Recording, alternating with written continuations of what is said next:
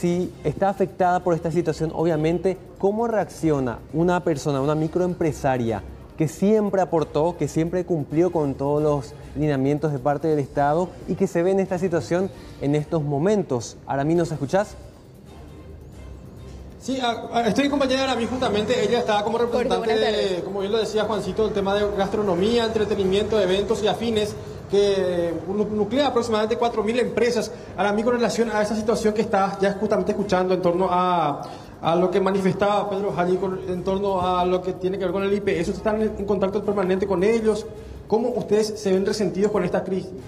Sí, ¿qué tal? Eh, buenos días a toda la audiencia que está, que está mirando. Saludo también a la gente que está ahí en el plato. Eh, nosotros estamos en constante comunicación también con el IPS, porque justamente nuestro principal objetivo ahora mismo es, eh, al proteger los empleos y proteger las empresas, es que el IPS se haga cargo del subsidio que corresponde a los trabajadores formales, ¿verdad? Que, tiene, que tenemos, ¿verdad? Entre, entre los trabajadores y la empresa, muchísimos años de aporte ya a IPS.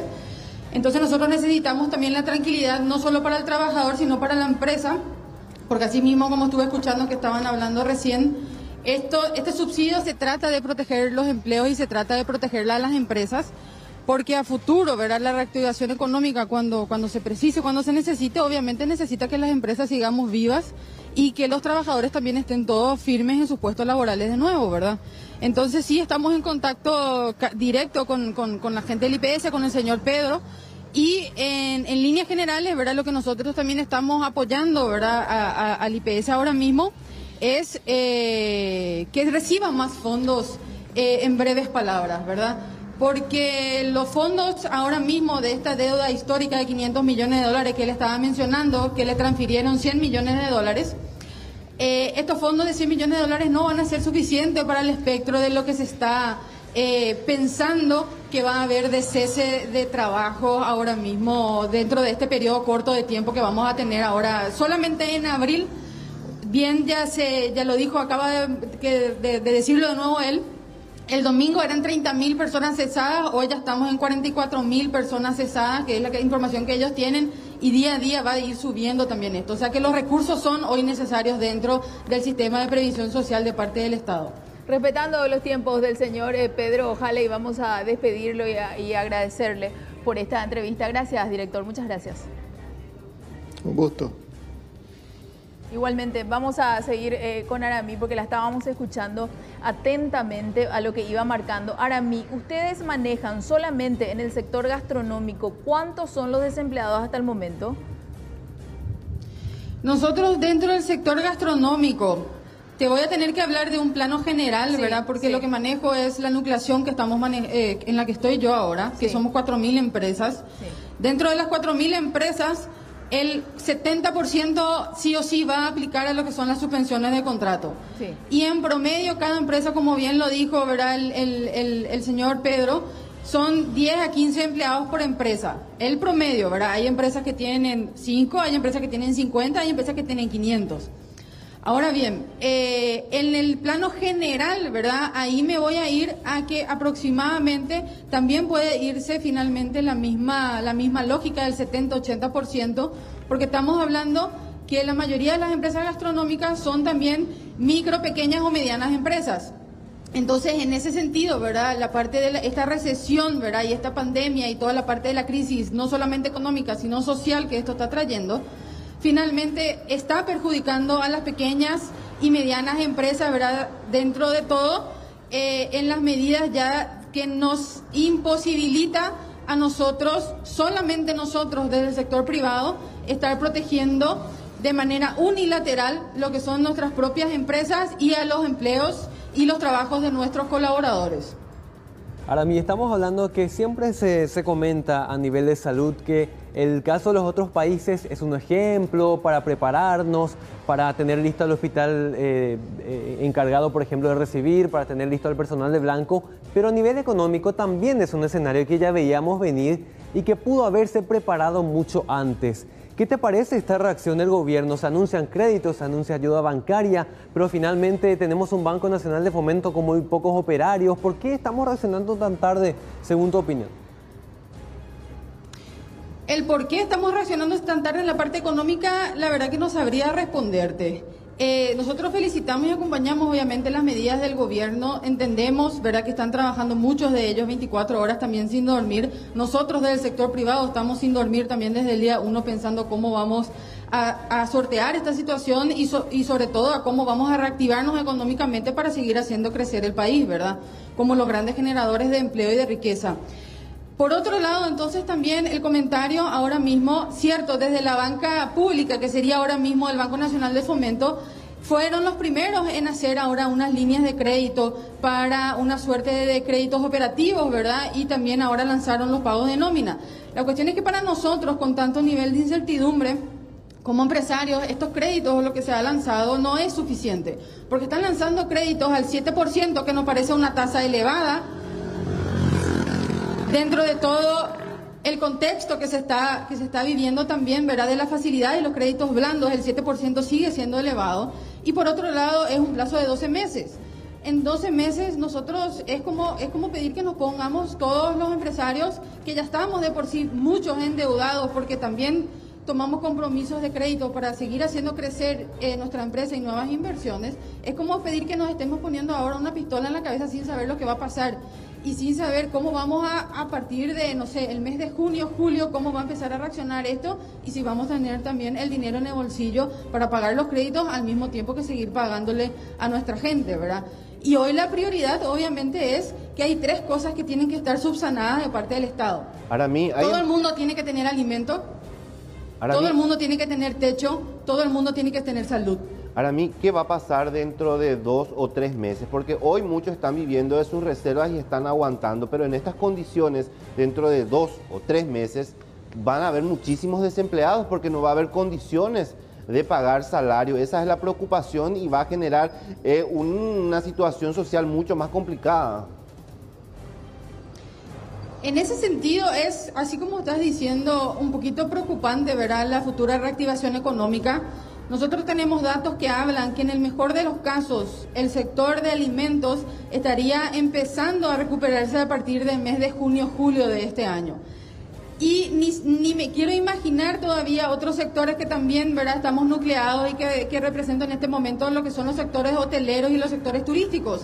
En el mejor de los casos en ellos se habla que recién en noviembre, diciembre van a empezar a tener una leve reactivación económica. Ahora, por último... Entonces, por eso nosotros Estamos insistiendo de que no podemos estar solos en esto, de que la ayuda tiene que venir del Estado ahora mismo, justamente para que no podamos nosotros tranquilamente también, o en la medida de la posibilidad de tranquilidad, podamos empezar a migrar nuestros modelos de negocio como empresarios, ¿verdad? Porque tenemos que migrar, aprendemos de todo esto todos, tenemos que migrar y lo vamos a hacer, ¿verdad? Pero teniendo también varias pistolas en la cabeza y mucha desesperación, no solamente de nuestros colaboradores, sino de todo, todos los que estamos ¿verdad? nucleados ahora mismo, nosotros tenemos que tener ahora mismo, por lo menos en el corto plazo, la tranquilidad que IPS se va a hacer cargo de los salarios mínimamente por 90 días en un primer momento, que vamos a acceder a futuro para una reactivación económica,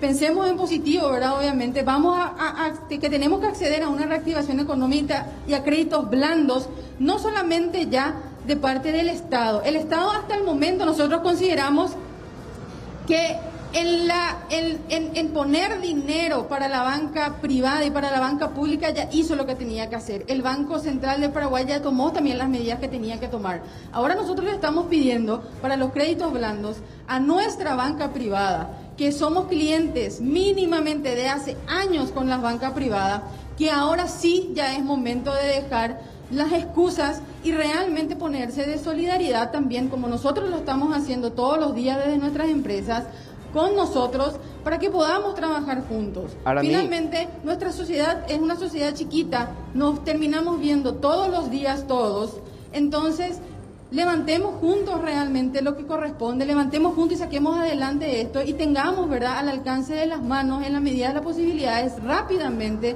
lo que nos permite a nosotros como empresarios seguir protegiendo empleos, generar empleo y generar riqueza para todos. Ahora, mí quiero consultarte esto ya por último, porque es interesante lo que estás mencionando. Ayer hablaban de un fondo de garantías, ¿verdad? Pero esto aparentemente va a beneficiar nuevamente a las entidades bancarias en detrimento de las empresas porque los intereses que se van a fijar van a ser evidentemente elevados, ¿verdad? Si bien todavía no se fijó y por otra parte el tiempo de gracia también, o sea que eh, hablan de ayuda, pero finalmente los más perjudicados van a ser los sectores empresariales.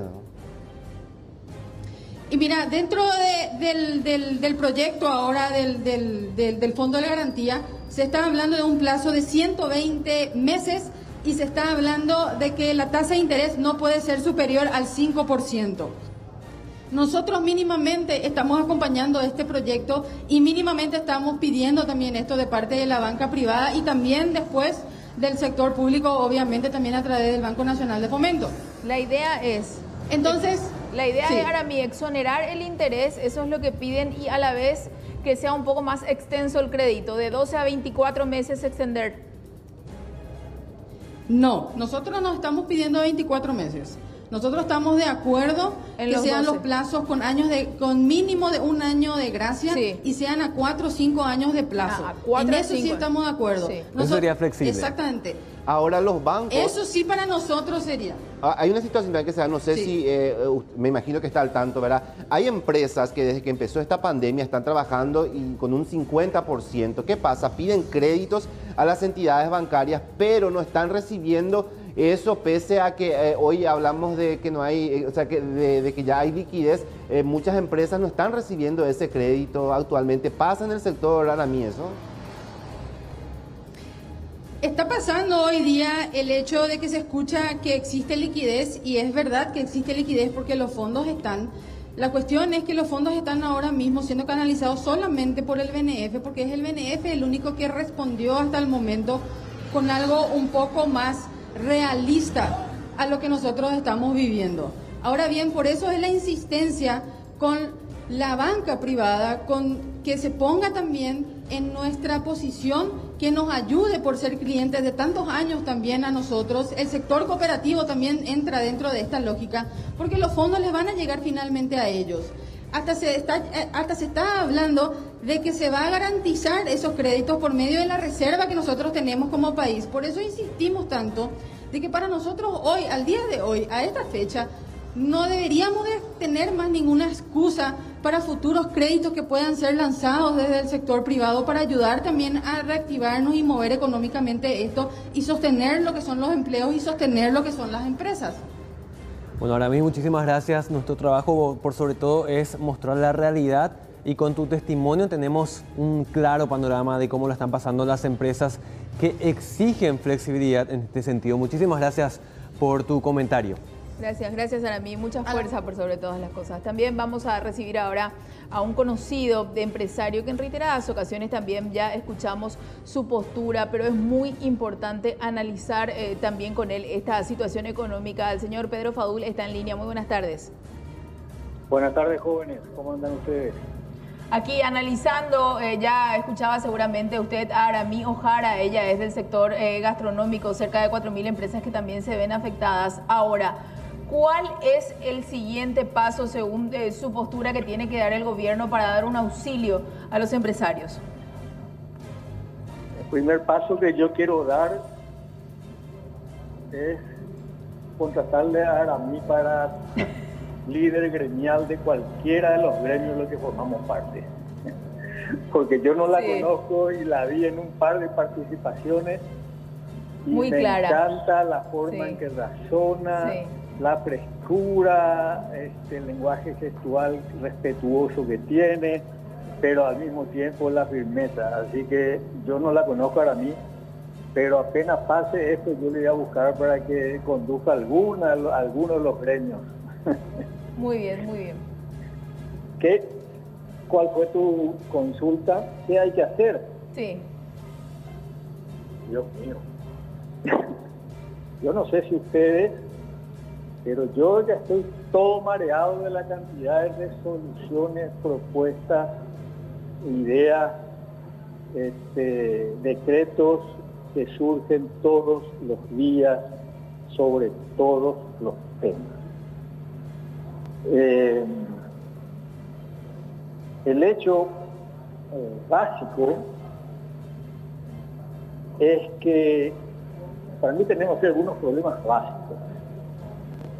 Uno es, este tema de la pandemia nace y nos confronta con una ecuación incorrecta, que es vida versus economía. O salvamos la vida o salvamos la economía. Así empieza esto. Sí. ¿Y quién podría tener una respuesta que no sea salvamos la vida? Me imagino. Pero en realidad la pregunta es, ¿matamos la vida o matamos la economía? Y a mí eso me parece, me parece una disquisición demasiado incorrecta, algo así como que cuando tratamos el cuerpo humano, digamos, salvamos el cerebro o salvamos el corazón. Realmente tenemos que salvar las dos cosas. Entonces, vencer esa ecuación que se metió en la cabeza de la gente, en épocas de pánico como la que estamos viviendo y seguiremos viviendo, es la mayor de las complicaciones porque no nos deja razonar. Las masas en general no razonamos y en estado de terror e histeria aplastamos a cualquier idea distinta a la que sostenemos. Entonces, al no poder razonar suficientemente, tenemos, yo creo que es el principal problema. El segundo problema es que en situaciones como esta, el Estado, representado por la administración pública, es el ente que tiene que prestar el principal apoyo ya sea a los más vulnerables, ya sea a los funcionarios, a los empleados, a las empresas, a la salud, a lo que fuese. Para eso se crea un Estado que está gobernado por un gobierno. Para eso todos contribuimos dinero en forma de tasas e impuestos durante todas nuestras vidas. Para que, como una gran póliza de seguro.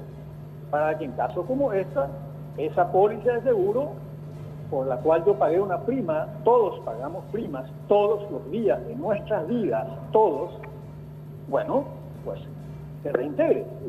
Finalmente, lo que vaya a reintegrar y a poner el Estado, el gobierno en este momento, no va a volver a recuperarlo, sino es otra vez de nosotros mismos más luego. O sea, hay que saber eso. El Estado tiene la responsabilidad. Tercero, no podemos tampoco olvidar que la misma administración pública que se ve sorprendida en la urgencia de tener que conducir este proceso muy difícil, es la misma administración pública que conduce la ANDE todo el año, que conduce la ESAP, que conduce las escuelas, las comisarías, las rutas, los centros de salud. Y conocemos nuestras administraciones públicas de las últimas décadas. Yo no estoy hablando ni de este presidente ni de nadie.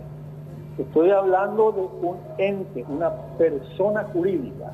Y le llamo a esa persona jurídica administración pública en general, con excelentes personas al frente de muchos ministerios en esta pandemia, que conste. Muchas personas a las que aprecio, respeto y admiro. Sin embargo, es la misma administración pública, enorme, obesa, lenta y llena de las mismas características que siempre tuvo nuestra administración pública. Y por citar solo dos, digo, ineficiencia y corrupción. Eso no me, no cabe duda que va a suceder. Entonces, el ritmo de funcionamiento y de ayuda de este gran seguro nacional por el cual venimos todos pagando una prima, eh, va, a ser, va a ser insuficiente. Señor Pedro, señor Pedro, ¿cuánto tiempo está en condiciones del sector empresarial, ese que mueve el motor de la economía, de aguantar en estas condiciones? Porque va a llegar un momento dado en que la situación se va a volver cada vez más insostenible. Y hay empresas, vamos a llamarle empresas a, empresas que es de una sola persona que tiene un carrito de pancho hasta las empresas multinacionales, ¿verdad? O sea que tenemos toda la variedad de empresas. Eh, vamos a llamarle empresas a todas esas. Algunas pueden aguantar un día y otras podrán aguantar algunos meses.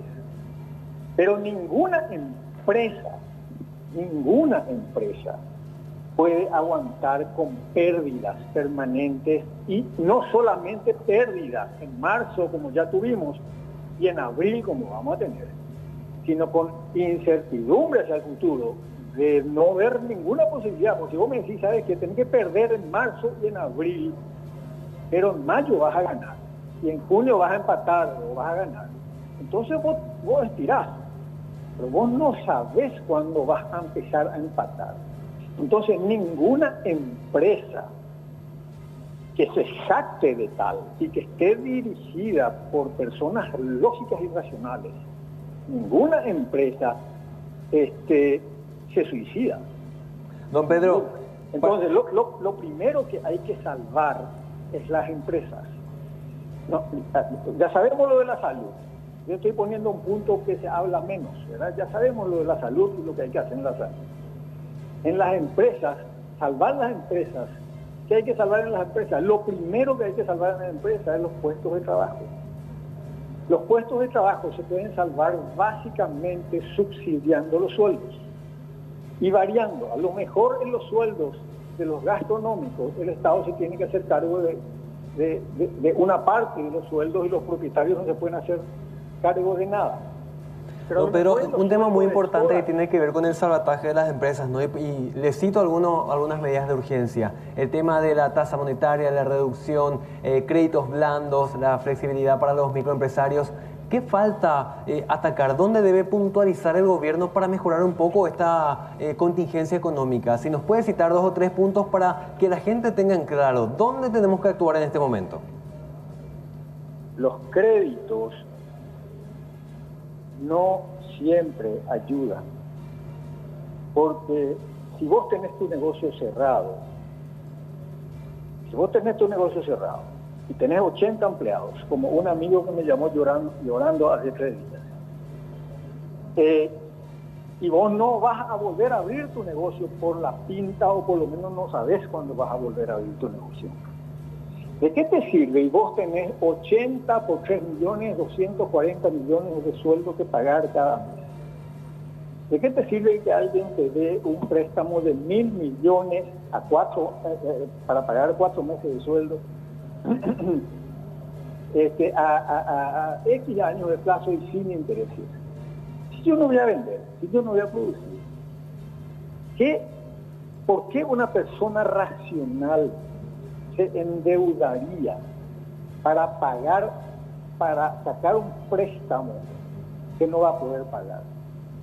Entonces, el crédito puede funcionar en algunas ocasiones, pero para la mayoría de los salarios no. Para la mayoría de los salarios tiene que subsidiarse, tiene que pagar el Estado. El Estado no es otra cosa que nosotros mismos tiene que pagar el Estado los salarios, ya sea el 100% de los salarios durante varios meses en algunas instituciones, o el 30% de los salarios en otras instituciones, o el 50% de los salarios en otras instituciones. Y tiene que hacerlo directo a través de las empresas que están registradas y que tienen sus empleos formales y que han hecho sus contribuciones y han pagado sus impuestos todos los meses. Para mí salvar los empleos directos es lo primero para mantener la empresa abierta y para que esos, esas personas reciban un subsidio por una vía formal, conocida, trazable, que es la vía de los salarios, a través de esas empresas formales que están registradas y que pagan sus contribuciones y sus impuestos y que todo el mundo la conoce y que no hay ningún solo misterio. Solamente hay que definir a cuál de los, de los, de los empleados que conforman las empresas se les da o el 80% de su salario por tantos meses, o el 60%, o el 50%, o el 30%, o el 20%, punto, a todas. Todos tienen que recibir eso.